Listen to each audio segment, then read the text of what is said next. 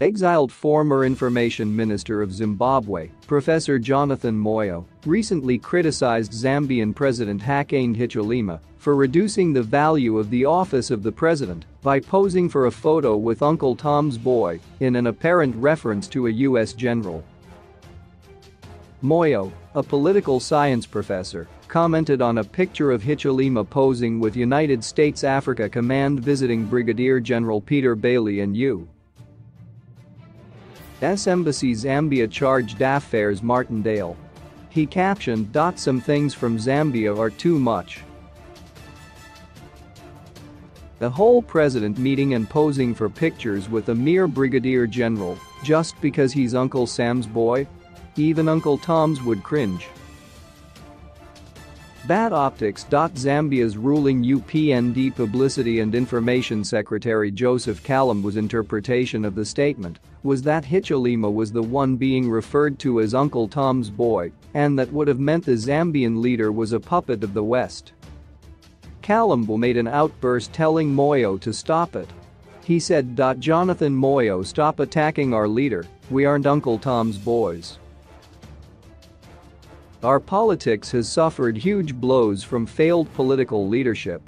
We're now building up a Zambia freely educated, a stabilizing currency and an economy strong enough to accommodate the dreams of every Zambian. Moyo played a central role in destroying a once breadbasket of SADC, a county that had a bright African future. On the other hand, we're shaping Zambia into an envy of African democracy, one where power is transferred peacefully from one freely elected president to the next. Hichilema's decision to allow AFRICOM to open an office in the U.S. Embassy in Zambia recently attracted criticism from Zambia's opposition, the New Heritage Party, which condemned the move. The party said the move carries very serious national security implications for Zambia, as the country can be a target for terrorists who are opposed to the USA. The New Heritage Party added that the move was against Zambia's long-standing neutral foreign policy position of non-alignment which has been premised on our being a truly independent